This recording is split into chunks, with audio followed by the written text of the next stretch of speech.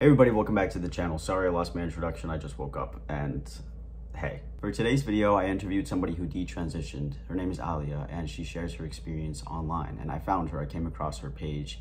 She posts on YouTube and she posts on TikTok and her experience was transitioning from female to male back to female. I feel like these experiences are very important to share. I mean, just based on my last video and based on what I see online all the time, it's I feel like trans people and detrans people are always bashing heads. I feel like these experiences are really important to talk about. I think they should be out there. So when I came across her page and the way that she was sharing her experience, I really appreciated it. It helped open my eyes to things that I might not see or I might not notice or pay attention to when it comes to detransitioning. And, and I'm just happy that I got to have this real raw conversation with her. Hopefully this helps you guys understand more things about detransition. It did for me. If anybody out there is feeling the way that she did or the way that she does, even better that you get to see her page if you haven't already. Yeah, without further ado, I will let you go watch that now. So, uh, hey, thank you for watching. I will see you later. Hey everybody, what's up? How you doing? So today I'm going to take a little interview and uh, you can start off by introducing yourself. Yeah, um, my name's Alia Ismail. Um, I live in Detroit, Michigan. I'm 28 years old. Um, and I talk about my detransition and my transition online. I was going to tell you how I came across your page too. I came across your page on TikTok. Yeah. And I have watched a lot of content surrounding anything trans, obviously, and I've come across so many detransition videos and stuff like that. I wanted to do my research because I feel like it's an important topic to be discussed. And there, I have watched so many and I've seen so many posters, so many videos about detransition where a lot of people talk about it in a negative light as opposed yeah. to just sharing their experience and they just they say they act like it's I don't know they just act like it's a very negative experience. So when I came across your page, yeah. I was like, wow, someone's talking about this in a way where it's educational. It's not fear mongering. There's no like, it is literally just your experience and you're sharing mm-hmm. it with people to let them know, hey, this is what I went through. And I'm just letting you know. So, yeah. And I was like, wow, we need more people like this to share their stories. And you know, without that just fucking negative negativity around it. I don't know if you yeah. Have you you must have watched a lot of detransitioner videos and stuff like that. I actually didn't. Um Okay. I yeah, I'm okay, so when I decided to detransition, I obviously went online to be like, okay, what are these feelings that I'm having, right? Um that was back in like the early summer of 2020 and there was one person that I found on YouTube, just one. Like, and I didn't see anything anywhere else. Like, I even searched on Facebook. Like, I felt like an old person. I was like, did someone even make like a status about this? Like, I searched high and low everywhere, and I wasn't like really on Twitter. I wasn't on um, Reddit. Like, I did post on Reddit once I found it, but I just I think I did like one maybe two posts on the detrans like Reddit like yeah three years ago now. Um, but the person that I saw um their their name is Ryan I believe. Um and I saw a couple of their videos but it wasn't like I wasn't like oh my god I connect to this person so much. It was more so I was just looking for the physical aspect of detransitioning. I was like what is this going to look like for me? Like as far as like how my body is going to change. Um, that was what I was like my first and foremost because it's not that I'm superficial in that sense, but I need to see like what I'm going to look like, just like anyone else does when they transition medically. They want to see what hormones and surgery can do for the body um, to help connect the body and the mind, right? And even then, I didn't see anyone that looked like me. And what I mean by that is I was very masculine. I mean, I had a full beard, like I don't really care to use this word, but like I passed, like, you know, all these things. And some of the people that I saw just didn't reach that extreme side of the binary, you know, of that masculinity and go back. And so it was really like hard for me to connect with anyone. I think I tried to message one person, maybe two people, and they didn't even respond. Um, and I don't know if they saw it or you know whatever, but it was like slim pickings out there for sure. Wow. hmm That kind of blows my mind. And that was back in 2020. Hmm It was only three years ago. And it was like, I'm, I'm gonna be honest, even just three years ago, it was looked at something very negative. I mean, people felt very shameful. They felt a lot of regret and um they didn't probably want to talk about it online. And even when I started to in 2020, I got a lot of negativity from people on TikTok, like especially trans people um, that were in the binary, like not necessarily gender fluid or non binary people, but um, they were like, You were never trans, don't talk about this. Um, detransitioning is bad, like you're just a cis person, like, you know, all these things. And it blew my mind because I was on hormones for seven years. Like, and how much like physical change I went through, how much social change I went through, like that was a real experience for me. And I 100% felt body dysmorphia and gender dysphoria. Like those feelings were very much there and still are.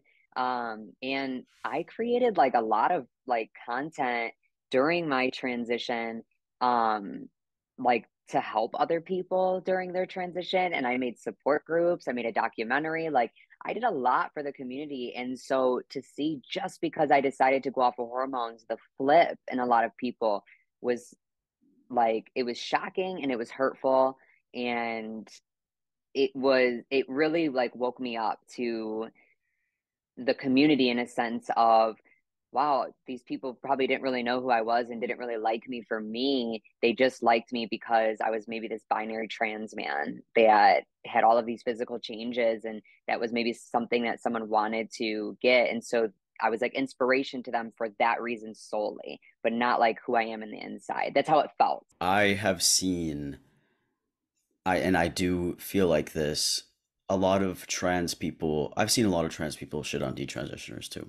hmm Um, I mean, there there have been times where someone, because I said I've watched a lot of detransition videos, and there are a lot of times where people are like actually like detransitioners are actually being really mean, and they're kind of like, yeah um, this is my experience, so um, that means essentially that like you're not really trans and shit like that, and then people go off on them or whatever. But I find it really weird that they would go after you yeah because I think it is really important. And I think there are people who are going to detransition. It's just, I feel like that's inevitable. Um, I don't think that we can be right about ourselves 100% of the times. There's also literally a multitude of reasons why people will detransition. There are yeah so many reasons. It's not just because they hmm aren't actually trans, there are so many reasons that go into it. And it's where we shouldn't be against each other. Like, yeah we go you went through that experience you said you were on hormones for seven years yeah yeah you- like that's that's a full that's a long time it's almost a decade. Like that's that's a full experience of being treated as a man in this world. Yeah and yeah. f- i've been on them for 10 and that's not too far off from fucking seven. Hmm so like i if i was still on it i'd be 10 years today. Oh wow. Like wow. or i'd be nine years or so but like still like if i was still on hormones i'd be nine years right now so we got like the same the same little timeline going on yeah hmm you know the thing is is back then when i started hormones it was in 2015 and i had these feelings and these thoughts about myself. And I went to a therapist and my doctor, and I told them this is how I feel, and this is this is you know like what do I do about this? And the protocol was you have gender dysphoria, hormones, and surgery. That was what they used to help people in these situations but it was just the start of it. So it's like any other medication or surgery in the world, it's not going to work for every single person. And there are people that want to stay on hormones but can't because their body just rejects it or doesn't take well to it or, you know, whatever the case may be, right? So it is kind of an experiment at that point, right? So you can't really fault other people or use your situation say it didn't work for me I, it's not going to work for you because just like any other medication and surgery you have to you know know these things. But the other part was detransitioning was never talked about to me. I didn't know that that was something that happened and i didn't know that that was something that i could do in the future. I i truthfully like did not know that. But also this was almost 10 years ago. So we didn't have that information back then to really share. So i can't really fault my therapist but i was like with my therapist i went in there for 30 minutes said how i felt and she responded with you have gender dysphoria you're definitely trans. If i could write you a prescription to go on hormones today i would. And that was problematic for me. Like i actually didn't go back to her for six months because I was like, whoa, like you don't really know me. Like I could I could literally be lying right now to you just to go on hormones. And you were like ready to give it to me but because the protocol was you have to wait 6 months back then to in order to get a script and a letter like she didn't do that. So that day i could have went on hormones if there was no you know 6 month amount of time. And this was someone who was a very known therapist in the state of michigan who was working with trans people for years and years and years. So the thing is, is like, I can see both sides of the argument and conversation. I can see how there are doctors and therapists that are very quick to write scripts without doing a lot of internal work. I can see that there's doctors and therapists that are gatekeeping. I, I see both sides. Like it really just is each person, right? Every experience is different. But I think the biggest thing that there's a lack of is the education around gender. I mean, I think like we have these roles and these stereotypes for what it means to be a man and a woman, right? And so when we slightly feel like either or, they're like, okay, let's go on to this or let's do this. And it's like, okay, well, let's do a little bit more inner work. There's so many trans men that I've had conversations with when I was still in my transition that were like, as soon as I got my name changed, my surgery done, I was a couple years on hormones then I sat there and I was like, okay, let's deal with the emotions now because it didn't heal a lot of the internal stuff that they were struggling with. And it's very common for that. And it doesn't mean that they're not trans, but we're so focused on how we're going to look and the surgeries and the name change and all of that social aspect that we're not actually always doing internal work while that's happening because we're so preoccupied with everything else. And it's kind of like my my friend worded it he's still on hormones very much identifies as a trans man but he worded worded it in this way where it was like peeling layers of an onion you know? It's like you get your surgery it's like this checklist in a sense and you finally get to the root and you're like wait a minute. Like i still feel uncomfortable even though i'm happy and all these things but like let me talk about why i felt uncomfortable in my body in the first place you know? Um but it doesn't mean that you can't go on hormones and get surgery. I think like everything is body modification in some way, right? We get our hair done a certain way, we get tattoos, we get piercings, we get people get BBLs, fillers, you know, like all these different things, right? Because we want to look and feel good in our body. And so there's nothing wrong with that, but I think we need to like have a little bit more education on why we feel that way as a society and how to combat that in better ways. Um, for the long run of things, you know? Yeah. I was just thinking about the therapist thing. The first appointment yeah. that you went to? Mm-hmm. I know. I sorry. I went like in a whole tangent, no. but yeah, the first appointment that I went to, yes. No way. Mm-hmm. Holy shit. But something in me was like, hold up. You know, I did eventually go back to her because after about six to eight months of doing some inner work, I I didn't want to go into my childhood traumas. I didn't want to go into that. Like I had my mind made up and my focus was on getting hormones because I was like, okay, I want I want to masculinize my body. So even though I kind of dove into some of my traumas and different things that were bothering me, I didn't fully immerse myself in it. I just that wasn't what I wanted to do at that time. So it's not like I still made the decision for myself but I was so preoccupied with everything else around me, you know, and instead of like really reaching within for myself. Okay. Yeah.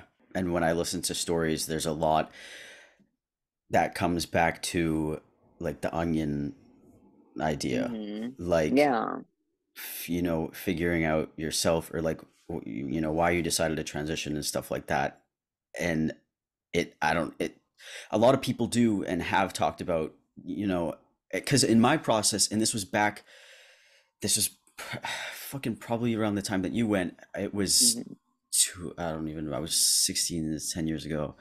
Uh, probably like 2011 I started seeing a therapist, but she was very and I I was I was scared to I was younger I was scared to go on hormones and stuff like that but she I had many sessions with her and then she wanted me to see a doctor as well and talk about it and it was a it was actually a long process before she uh, she just like wanted to give me hormones.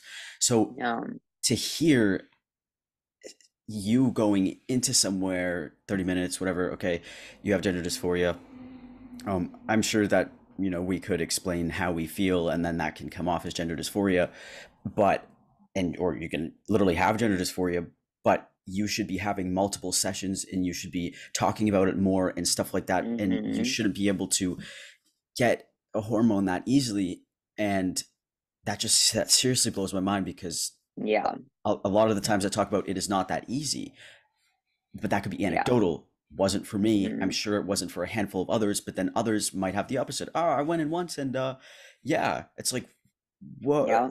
it's and I can, I guess I don't want to compare it to like medications, but if I went to talk to someone about depression and I went in for one session, like, all right, you're de- you're depressed, so let's, I'm just going to prescribe you this instead of like really talking about it and figuring yes. out, you know, do you want to go on medication? Is this medication going to be good for you? What, all that type of stuff. That's, that's. I want to say this. It all stems from money.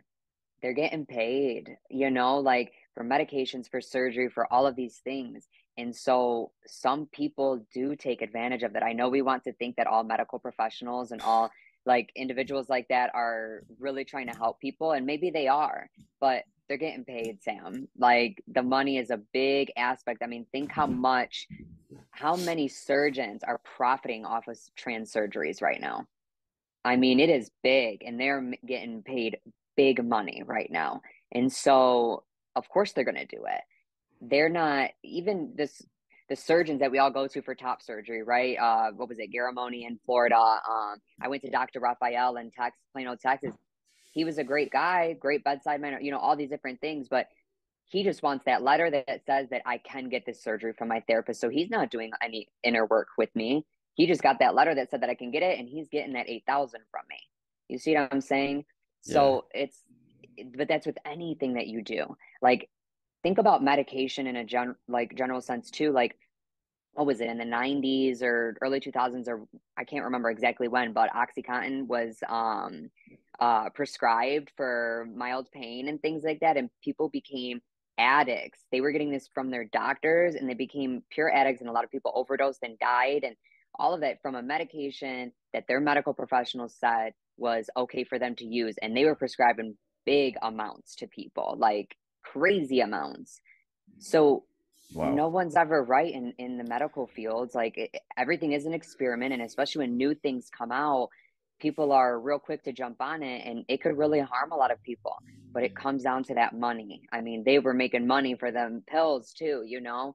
I think like we don't think about the other side of that. I don't know. Like after I decided to detransition, I kind of like woke up to a lot of things. Like I was like, oh wow, like I was in this world of like I'm being helped and I'm trying to, you know, feel more comfortable. And these people are telling me I got to do this, this, and this. And then when I thought about it, I was like, this is a lot of stuff that I have to do just to feel comfortable in my body. And so long term, I was like, I don't enjoy being a trans man in today's world. Like that was very difficult for me and there's so many reasons that it is and i think the biggest is like all the social aspects of it. My social perceptions of what it means to be a man and how i was raised and gender roles and things like that i was like i don't want to be a trans man. But my gender dysphoria is still there. I still feel it heavily but i just was like i feel better translated as a feminine person or a woman in this world today. Okay I think it's a lot more intricate than I than I think people think when it comes to making decisions like that. They're like, okay, you're not trans anymore. And it's like, no, like if I could wake up tomorrow in a six foot five man's body, like big hands, big feet, things like that, like have a penis, all I would be good. But I didn't enjoy being a trans man. and I didn't think about that when I was transitioning. I was like, oh, I'm going to be treated like a man. I'm, I'm going to be acknowledged for my masculinity. But I still felt incomplete in my eyes. And that's what mattered the most for me. And it just further made me more depressed because I, I couldn't meet those expectations that I put on myself. Yeah.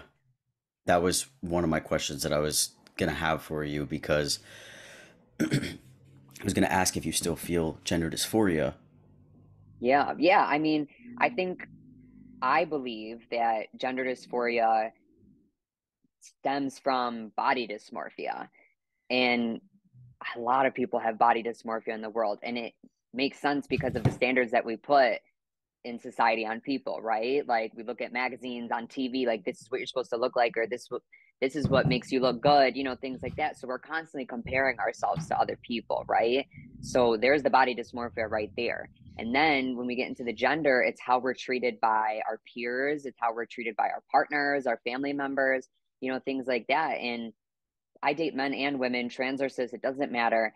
But uh, when I was a trans man, I was com- treated completely differently by the women in my life, whether they were my partners or friends, and how I am now and I have to accept that and get used to it. But people perceive me completely differently now.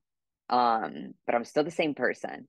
So it's like my gender dysphoria is still there for those reasons, you know, like women that maybe I want to date are not acknowledging me how they used to when I was a trans man, and I want them to. That was one of the reasons why I went on hormones, not the sole reason, but that was a reason when it came to my romantic partners um, and just other, you know, social interactions. So it's still there.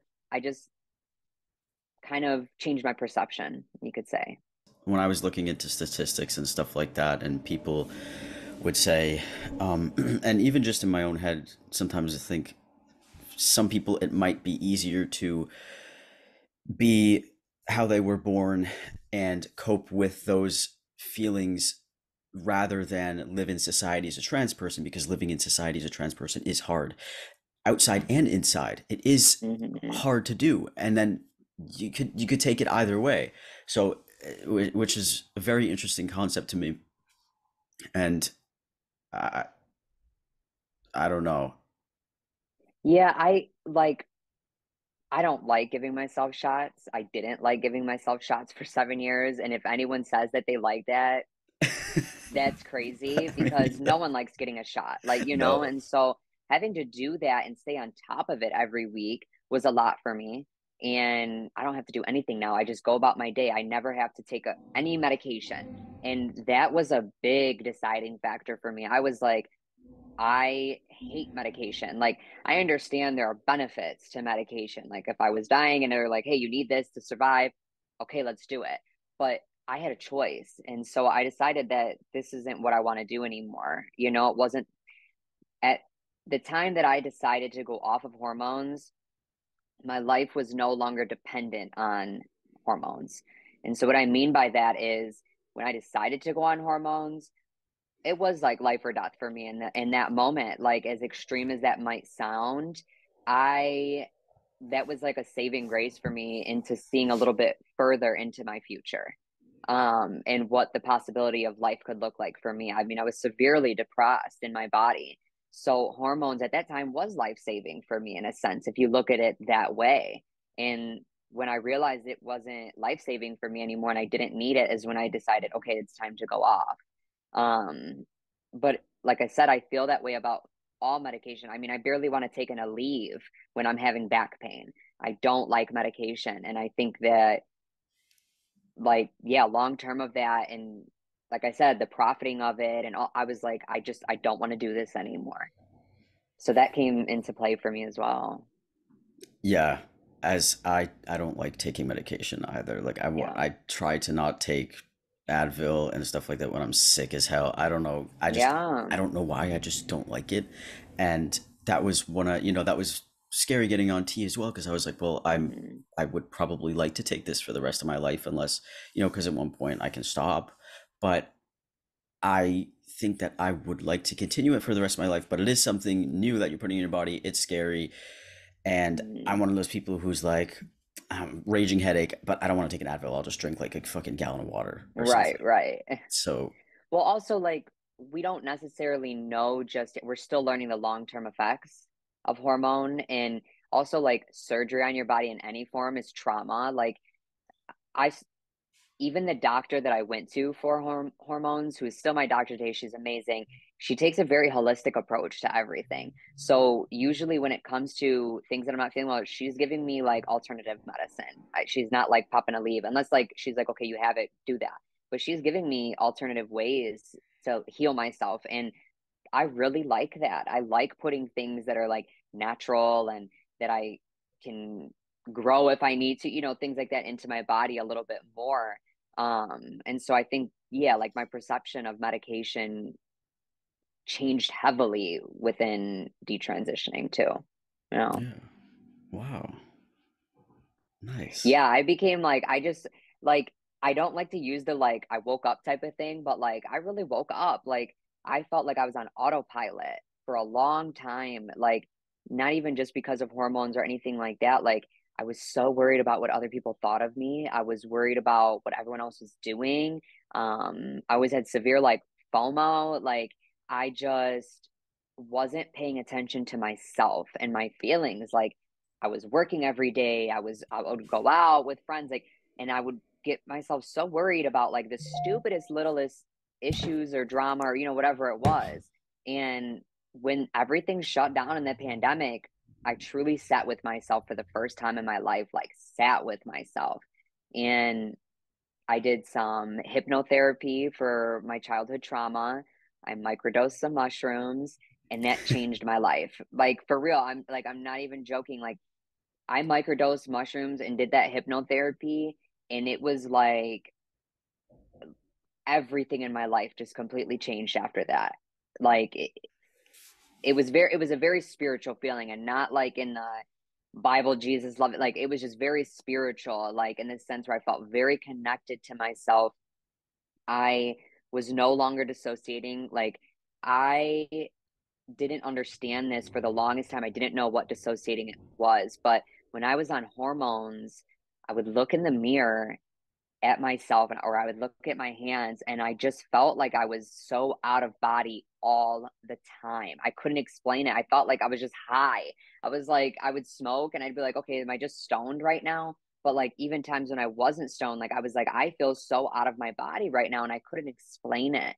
And I just heavily dissociated and it was like as soon as I decided to detransition, like that moment I like it was like I remember I sat there. I told this story like on one of my first videos, but I sat there one one day and I was in the bathroom and I looked at myself and I had this thought. And the thought was, what if I dissociated so much from my traumas that I created this identity Isa? And it was like like I couldn't explain it. I I wasn't even thinking about that. Like when I tell you it was like a thought that just came out of nowhere. I was like, what the hell? And then the next thought I, I had was, I don't have to be on hormones for the rest of my life. And it was like I had this instant wave of relief over my body that I just couldn't explain. But the weirder part is I didn't know what dissociated meant. I had the word in my thought and I had to Google it because I was like, what does that mean? And I Googled it and I was like, oh my God, that was that's exactly how I feel. So that's what I mean was like really spiritual for me. Is like my intuition just really told me something in that moment and I listened to it for the like the first time in probably like 10 or so years. So it was just like it it was very weird 2020 for me. Like it was just really weird. Yeah, and that And I can't explain it. I just can't like that's the only way I can explain it is like how I just did there. Like I don't know.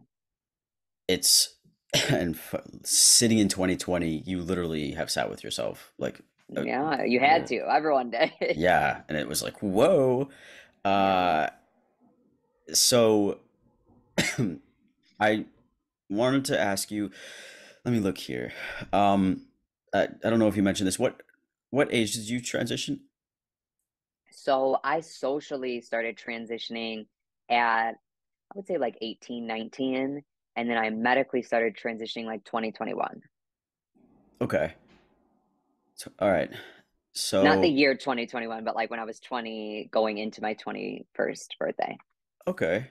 Yeah. Um, then when did you detransition? When I was 26 going on 27. Okay, so like a few years ago. So it it was actually it was actually 2 years. Is today February 1st? Yeah. 2 years today. Wow. Actually, yeah. It's my 2 years uh, off of hormones today. Yeah. Okay, wow. Wow. Yeah. Nice. I'm just trying to think if you already answered this question. What when did you start to feel because I felt like I felt gender dysphoria very young. When did you start to kind of realize that you felt different essentially? Yeah, I mean definitely from childhood. Um when I was like really young, so under the age of 13, I was a tomboy. Like I did not see myself different from any other boy. I hung out with them, I played with them, I wore boys' clothes. Like I felt comfortable in that and I always had. But my mom, and I don't fault her for this, you know, like the time that she was, you know, a mother, she was young, 19. Like she was always like, wear girls' clothes. And she would cut my hair like right here so I couldn't put it back in a ponytail. Like she was like, no, you're gonna wear your hair down. Like she was always trying to get me to be more girly, you know? Um, so I felt that like yeah, from childhood, but I didn't look at it as like I'm trans. I didn't have those words. I just was like I felt like a kid. And that's like the most general neutral term that I like, you know, like I was just a kid, you know, wanting to like hang out with other kids and be similar to them. Um and so it wasn't until I started going through puberty when my breasts started to grow. And that's when I was like extremely uncomfortable because I could no longer just wear a shirt. Like I now had to start wearing a bra and I did not want to wear a bra. Um, I actually remember the exact pinpoint moment still. I was like 11 or 12 and I was at a festival with a bunch of my friends and it started raining and my shirt started to cling to my chest and I could see it. Like I could start to see like the lump. And I just remember like hunching my shoulders and being like, I gotta go home. And my friends were like, why? Like, we're still hanging out. And I was like, no, I need to leave right now. And I called my mom and I had her come pick me up. And like, I remember that moment like it was yesterday and how uncomfortable I felt. Yeah. I like basically same went for me, kind of same timeline. I was a tomboy, growing up, all that stuff. Um, which obviously, and I know this, it doesn't mean that you know we're trans, but when you think about it from the standpoint with all of the feelings that came with it, um, was a tomboy when I reached like 12 and I had the same feelings. I was like, I don't want to wear, I just want to wear a mm-hmm. t-shirt. I don't like this. And it feels, it, it doesn't, it doesn't feel right. And then all my friends were kind of, they were cool with it. They they were excited almost to grow yeah. up. And yeah. I was not. And I was like, mm-hmm. why do I feel like that? It's it yeah. shouldn't like I understand bodies body bodies changing and that could definitely be uncomfortable for kids because you're going from a kid and you get you're getting older. Mm-hmm. But it was I I did not I didn't like the fucking feeling. And yeah.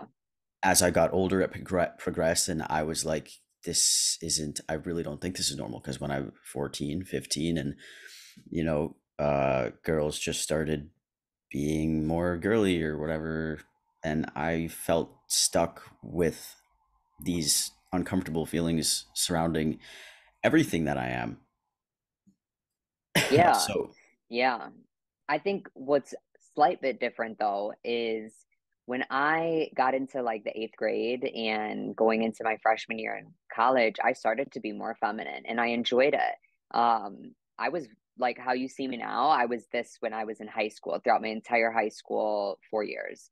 Um, I was very feminine, but I still felt masculine internally. And I always had liked girls um, from a young age, like kindergarten, first grade, I always had crushes on girls and like they were crushes. It was not like, oh, she's pretty. I want to look like her. Like I really, I remember my first childhood love, like all of these things. And so that made me different from the other girls around me and my friends. Um, and then it was my senior year and I cut all my hair off because no one was acknowledging me as being someone who was bisexual or gay. And I had dated boys and all of that. And so I was like, that back then when you're 17, like what you your perceptions like when you look at them in retrospect you're like that doesn't mean that but that's like back then because i had no representation of anyone gay i was the first person to come out as gay in my high school so like there might have been people that we were like you might be but they never came out you know? I was like this is who i am. And so i cut all my hair off and that put me into a more masculine role. And it wasn't what i was like seeking a little bit but even just that like caused me to feel less and less feminine that pushed me more and more into that masculinity which caused me to transition i think if i never cut my hair off i probably wouldn't have went so into that masculine role and it sounds so stupid that it's just a haircut but at that time during then like that is what was the you know avalanche for me um but when I was a kid, I saw myself as I like when I talk about my trans self, like, you know, as Issa, like I saw myself with short hair when I was like eight, nine, ten years old. And parts of me is like, are were those like premonitions in a sense for myself? Like I I had always saw myself like that, but I never was that. And then I did, you know, transition and I kind of looked like that person that I had imagined myself as when I was a young child and to counter that thought was when I transitioned, I had so many dreams and things like in this form. And it was like really weird that I would always dream of myself in this feminine form like this. And then seven years later, I'm back to that form. So I was, I don't know. I get into like spiritual stuff like that. So I was, I just like, I have a high intuition and sometimes I'll see something and I'm like, don't do that or do that. And it ends up being right you know and so it's really interesting like my subconscious how it viewed myself i don't know weird Okay, I get that. so like i've been very fluid in my expression and so and it's like really like the first 10 years i was very masculine the next 10 years i was pretty feminine and now this next 10 years i was pretty masculine and then now, now i'm back to femininity you know what i mean it's like it's really weird how I'm, I went in these waves. Right. And so when you cut your hair, did you feel like did you feel more obligated to to just take that to the next step because you were in that masculine like I think yes and no. Yeah, like yes and no. Like what it was was I had I cut my hair and I was still a little feminine. And then it was like I slowly started to progress back into like my masculine appearance. And then because I was a pretty curvy person, I always that's where the body dysmorphia comes into play is I always liked someone who had a more like straighter body. And even if they were feminine, they just weren't at didn't have wider hips like I did, you know, things like that. And so I think I was always trying to achieve that body type. And I thought that hormones were going to help that, even though I was like looking really masculine. My first like two years on hormones, I loved how I looked. But the longer that I went on hormones, I mean, I just got hairier and more manly and burly and all these things. And then that's when I was like, hell no, I don't like this. I mean, like I said, I had a full beard, you know, all that. But my first two years, I did look kind of like androgynous and a little, but like still masculine. And my body, I was a little bit thinner. My body was a lot straighter, you know? And so, like, that was a good time for me. And so, like, that came into play a little bit, you know? And then it was like, I, I guess I could have went out of hormones, but I didn't know that I could. You know what I mean? I, I just, I was like, okay, well, I got to keep going on because this is the medication that I take. Does that make sense? Yeah, I, I Like I was just had this idea that like I okay, I chose to be on hormones, so now I have to do this for the rest of my life. I never knew there was any other alternate road in a sense. were you were you scared to come off of them because of how difficult that would be with people around you or even yourself? Um, no, because I never thought about going off of them. Like because like that's what I mean by that. Like when I was like I didn't know there was an alternate road, like I never had the thought about going off of hormones until I had that thought in 2020. Like when I had that thought, I was like, oh yeah, I'm doing this. There was no, like at first, I went off for about four months in 2020. And this is where like a lot of other things come into play. And what I mean by where I was like very distracted by other things, I heavily relied on my identity with my romantic partners. Um, I don't know how you feel, but I know I've talked to some other trans people, and I think like when I got love in my life, I did not want that to go anywhere because I didn't think I was going to get it again. Um, and so if I was with someone who was very feminine presenting, I would like be more masculine. I'd be that counter partner. And mostly because I felt comfortable in that role. And that was all I knew growing up. My entire life was a man and a woman. And so I was this masculine person dating this feminine person. Like that's all I knew and what I felt comfortable in roles with. So I got into a relationship and I was like, well, I'll just go back on hormones. Like she likes me like this. I, I'm okay with it because I've already been doing this for seven years. And like I feel good right now, you know? And that relationship ended and I was right back with my feelings. And I was, I finally was just like, I'm done. And then that's when in February of 2021, when I was like, I'm going off 100%. Yeah. Gotta do, gotta do that for yourself. Yeah. Yeah. But it took me a minute to realize that, you know, like I said, like no one wants to, let me tell you something ain't no one want to go to therapy to work on themselves. Like that is the scariest thing ever. Like having to confront yourself with your thoughts and your feelings. That's extremely difficult. There are a lot of people in this world that still to this day do not do that. No. And so, you know, like, and what I was doing was not like the norm. No one, no one was detransitioning. No one was talking about it really. Like, so, uh, like, that was a really terrifying feeling for sure.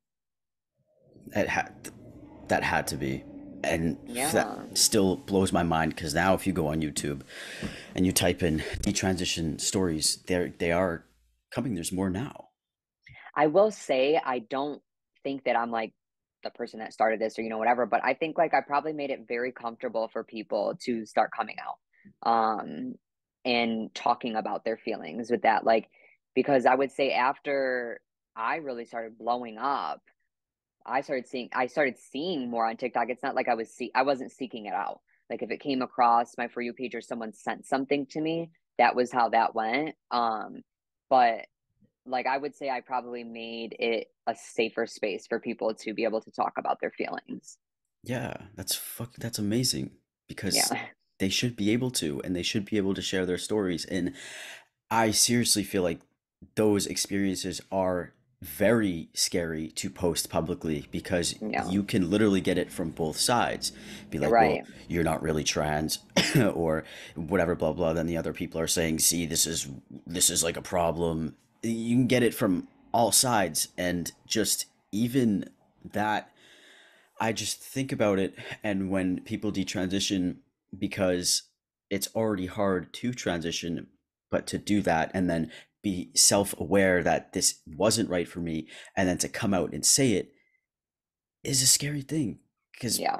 people are fucking assholes and especially on the internet so yeah for sure on the internet.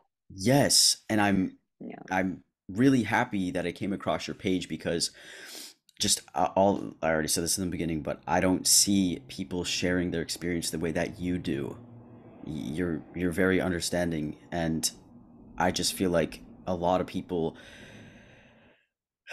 because I'm on I'm online all the time. A lot of people are just they approach it in a in a, a mean way, uh, and that's not. I, I I'm all about like respect and kindness, and I love to yeah. learn about people's experiences, and I'm very understanding. So I expect the same from other people, but you know, not everybody's like that. Yeah, you know, I appreciate that. I um, I think I look at it as like no one's got the manual to be a human in this world. You know what I mean? Like we're all just trying to figure it out. But I think what helps me understand more is I it's not that I agree with the people who are being negative, but I can understand their feelings of frustration. I can understand their feelings of hurt and and it like I said it's not okay, but I I can see where they're coming from. And so what ends up happening is they're like shooting all this ammo at people and then they're shooting it back, right? But sometimes when you just sit there and have that conversation with them and like open their mind a little bit more, they end up being a little bit more understanding as well. And so I try to talk about my situation a little bit more in depth and be extremely vulnerable, like and very honest, you know, like even if what I say isn't correct or, you know, whatever, like I'm just expressing how I feel in that moment, you know? Um and I think like every like there's so many things like just you said earlier that contribute to all the decisions that we make, you know? And so it's like it's never just black and white. Like we have to see all sides of the conversation no matter what and we have to understand people.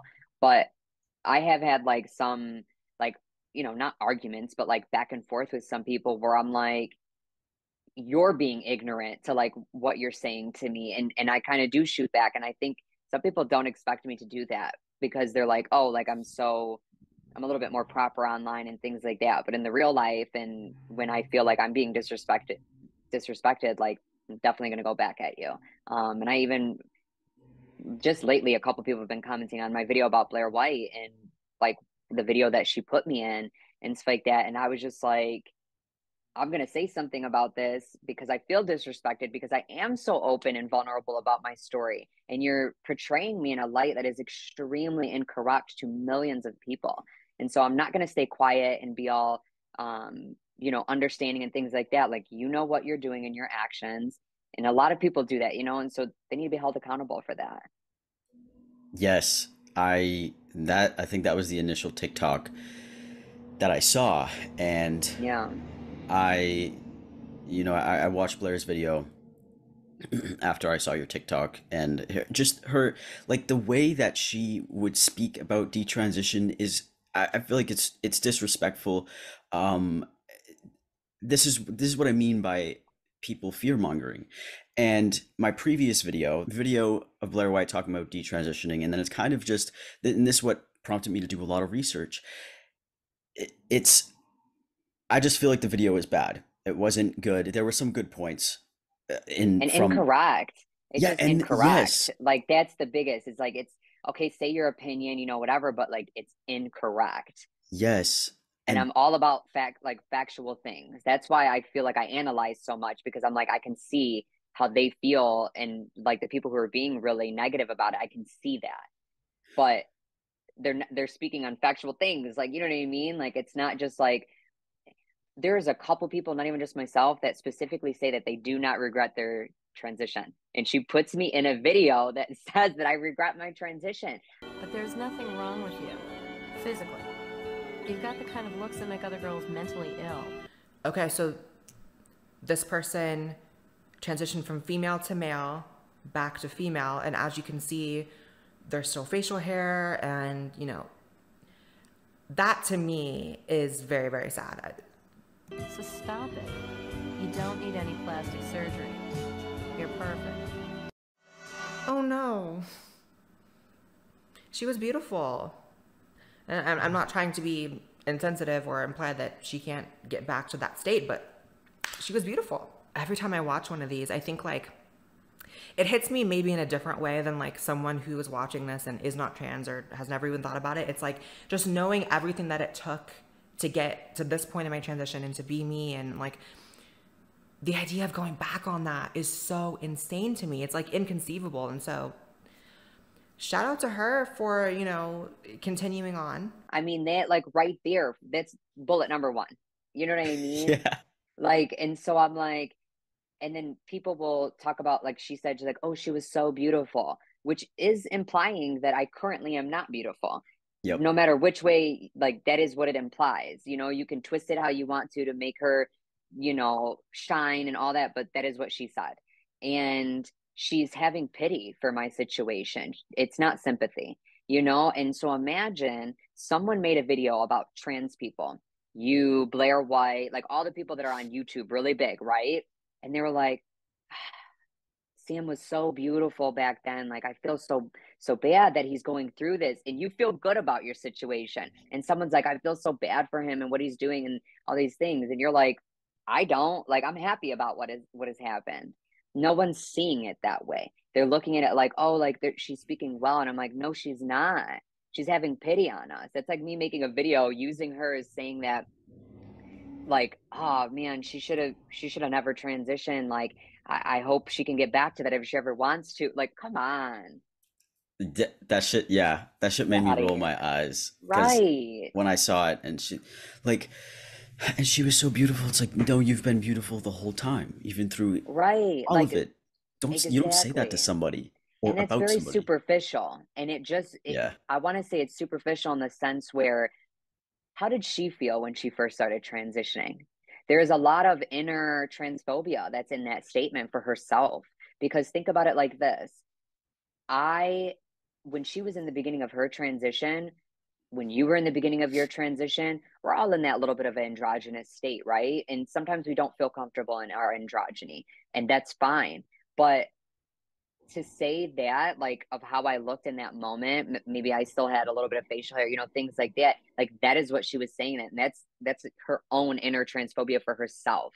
So so there was a moment that she probably looked similar to me in her transition and now that she has reached the expectations that she wanted she's no longer in that in a sense you know what i'm trying to say right like yeah. it, it was kind of like okay i was in this fluidity of my gender and i'm i was so beautiful because I fit that stereotypical feminine woman like aesthetic, right? And so now that she does, you know what I mean? Like it's like that very it's very superficial that statement. It is. And maybe I'm analyzing it a little bit more than the, you know, the uh, you know, people that are watching it, but that's how I viewed that. Like I really did view it as like an inner transphobia for herself because she is very in the binary and that's fine if that's what you want to do but you're kind of knocking someone who's in their fluidity going through something. Right. And i don't know. it's uh, it's just inappropriate and yeah. to stem off of what you were saying it's just I, have also seen her make fun of people's appearance all the time anyways like different trends people. i hate i literally hate like sam i hate bullying behavior yeah. like i hate it i was bullied heavily in high school like still can continue to be bullied by some people, like whether it's online or in real life. Like I hate bullying and I hate talking about people's looks because that's something you can't help. You know what I mean? Like that, yes. that is who that person is. And just because you don't think they're beautiful does not mean that they are not beautiful. Yep. You know and what it- I'm saying? So yeah, I hate that. I hate it. And I want to, I don't mean to cut you off, but I want to talk about that um I cannot think of her name right now, and I apologize that I cannot think of her name. But she went um, viral on Twitter for detransitioning, talking about her um, uh, like going bald and her hair thinning. And there were a couple of trans guys that I know like, you made fun of her for that. I know you're talking about I about. did not like that at all. I thought that I, I didn't really see, I didn't watch her entire video and know exactly what she said, but from some of the things that I did see, I did not think that she was like saying don't do that like i think she was talking about her experience and then for her to be bullied on her looks is just like taking a knife and just twisting it yeah i and that is something that i talk about in my my, my previous video i think we're talking yeah. about the same person casey yeah casey yes casey yeah yes so when I initially came across all those posts, I didn't think anything about appearance. I wasn't going to be like, well, you, you're just mad because like you lost your hair or some shit like that. Because right. I don't, I'm not I really just don't care about people's appearance. It's it's low hanging fruit. What I mm-hmm. did is I took the points that they said in their video and I was like, um, what I don't even remember what I said. I said yeah. something about testosterone. I can put the tweet up here, but uh, yeah, I just I'm not, and it's just it's it's unnecessary. It doesn't have to be talked about. We don't have to talk about people's appearance yeah. and bring them down. Let's talk about the stuff that's coming out of their mouth as opposed well right yes and like i said i didn't watch the entire video i said i just saw like a couple of snippets of it you know um and i did reach out to her because here's the thing is with all of that bullying that's where i kind of looked at it was like she's feeling these feelings and maybe she's expressing them not correctly or saying things that maybe um is like a blanket statement right? Like uh, some people who detransition do say right? But she didn't need to be bullied about her looks so think about you're already down you know what i mean you're already frustrated you're already angry and then the people that you felt a part of the community are like now talking about you like in that bullying way and i can see why i'd be like okay, well, fuck them. I don't even want to talk to them at all. You know what I mean? And yeah. so my biggest thing is like, if I find someone who is really down and they're saying those things, let me try and talk to them and help them accept some of the, the decisions that they made in their life and and decrease that feeling of shame and guilt for their decisions. And um, we didn't end up talking. I kind of usually what happens is like I'll send a message and I'll say, you know what, here's my number. If you want to talk about your feelings or anything like that, reach out to me. If you don't want to, you don't have to. I just want to extend this. So, like, if you ever feel like you need to, I'm right here for that. But there's no pressure to, you know? And I think, like, that's the biggest way that I can contribute to try and help some people that have a lot of those negative feelings. Yeah. Because, and... like, let's not bully each other. Let's work together at this let's have a conversation about these feelings that's the only way we can fix it so we're not yes. like hit you know that's what i'm saying yeah. and mm-hmm. then and this just brought up a point in my head so then when all that stuff happened because this was a video that i wanted to make um hold on let me let me check twitter for a second i want to see uh when you because but i guess I guess it just depends on how things come off because, you know, do, does Casey go by um she? Yeah, I, th- I, I thought so. so. I can't. Yeah. I can't find her page. Then why can't I find her page? Maybe it's because I fucking hold on. Let me see. Um, because there definitely were tweets that were at like you probably didn't see them. They were they they were not nice. There was like stuff about uh let me see. This had to be... Yeah, I'm not on Twitter. Like, I think I only went on Twitter to not like I'll use gender neutral pronouns oh. now because now you have me second guessing. But um, I only went on Twitter literally to send them a message. So like, I am to... not on Twitter at all.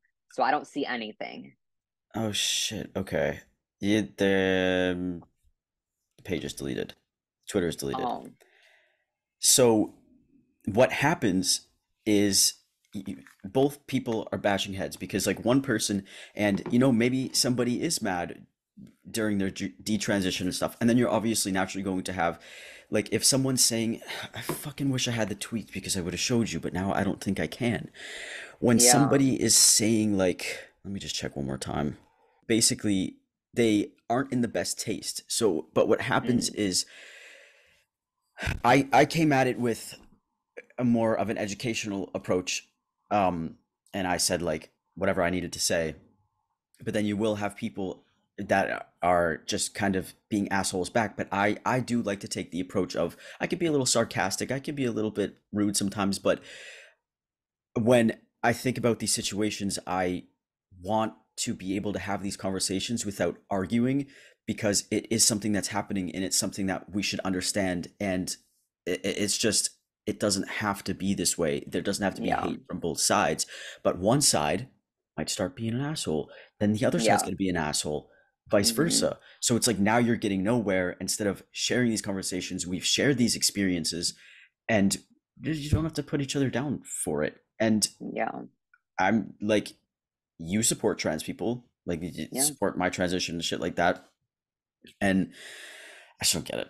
It's just it's so it's so you have tough. to you have to have the understanding that everyone's different you know like you can still yeah. maybe not agree on certain things and but still have respect for everyone you know like i know that there probably are some things that i think that like some things that i think that i'm like ah maybe i wouldn't like if i was in that situation or if i had a child or like maybe i wouldn't do that but i'm not going to be like you can't do that with your situation because i'm not doing it with my situation like everyone has a different experience you know and yeah. because of those experiences we then start to have different mindsets and decisions for that but it doesn't mean that i have to not like you for those things obviously if you're disrespecting me that's a whole different story but like there whether you're trans or not, or you have transitioned or and detransitioned, or you know, whatever side of the spectrum you're on, like there are some people that are still in their transition that agree with me on certain things and that don't, and people who are cisgender that agree with me on things and don't. Like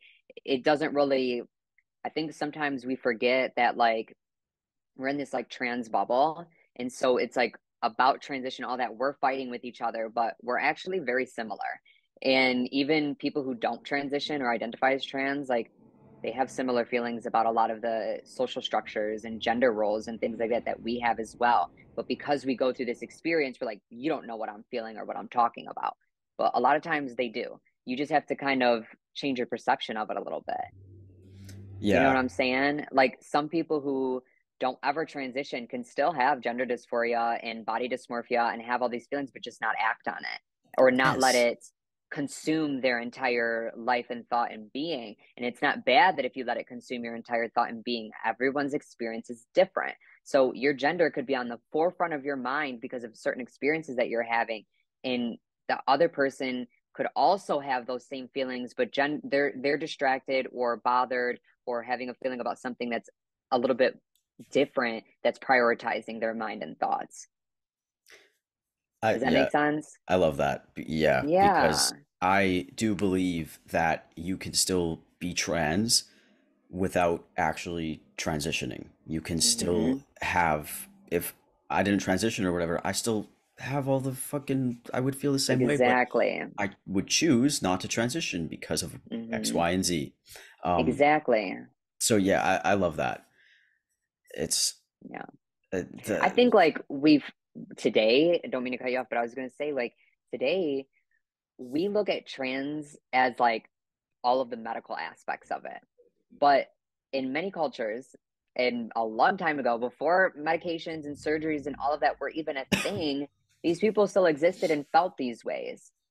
And then we started coming up with ideas of like okay how can we combat that? And it ended up being with the medical world and things like that. But like people have always had these feelings of not feeling comfortable in their bodies or just not feeling at one with themselves and their experience was just completely different. But still like it's always been around. So being trans doesn't mean medically transitioning and getting surgeries you know? But i think like that's what we like honed it in on and that's like how we identify someone someone who changes their gender or things like that. But we all have those feelings in some form.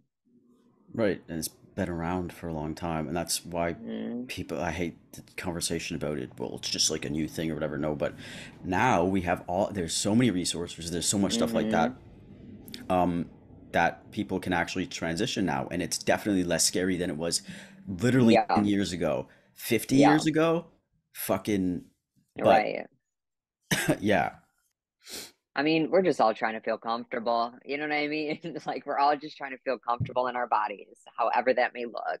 And it's not and yeah, people I I, I really don't like people trying to, you know, essentially police people into how they should look or whatever like that. If someone wants to do this, then they can do this. If the, like if you want to shave your head, fucking shave your head. Who cares? If you right. want to wear a dress, wear a dress. If you want to wear a tux, wear a fucking tux. It's like yeah. I think we basically covered all the questions. I'm just trying to think if there's anything else that we could. Uh, this is an interesting question. Are there any myths about detransitioners that you want to clear up?